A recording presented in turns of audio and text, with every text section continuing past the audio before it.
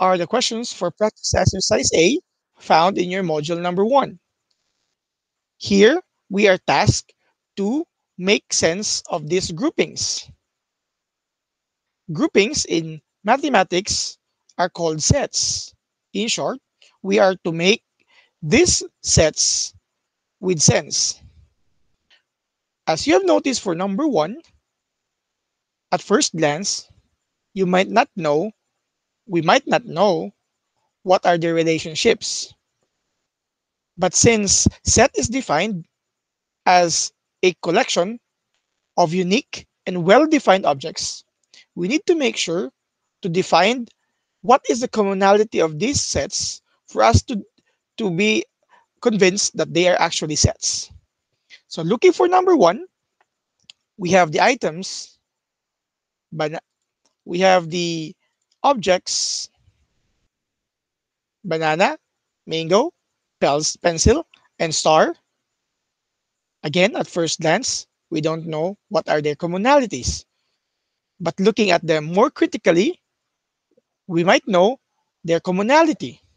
And it is that all of these four objects are commonly yellow colored. In short, to answer for number one, this is the set of yellow colored objects.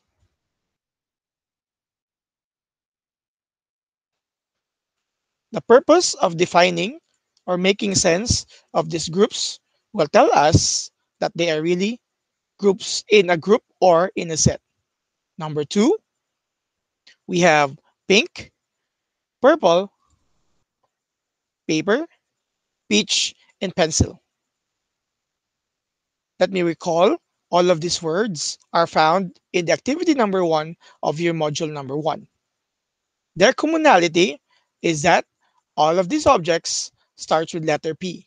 So the set is called set of words that start with P.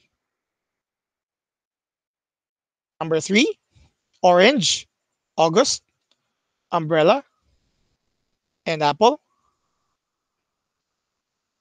Here, this set is defined as a set of objects with names that start with a vowel.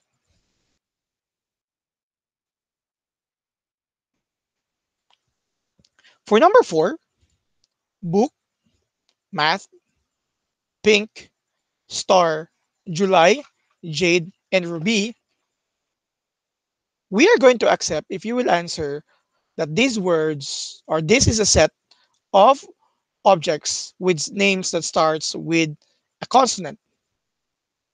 That's acceptable. But you could also say that it is a set of objects with names that ah, set of objects with four letters in the name. Or how do we make it better? Set of objects with four letters in their English name. And finally, we could also say number five as any set you want, but to make it clear, for us to have the same answers with your key answer, this is a set of objects with letters A and G in there. name. So the goal for practice exercise A of module number one is to make your sets with sense. Again, you need to make your sets with sense so that you can consider it as a set because we define set as a collection of well-defined and unique objects. This is the content of this video. Hopefully you've learned something and see you next time.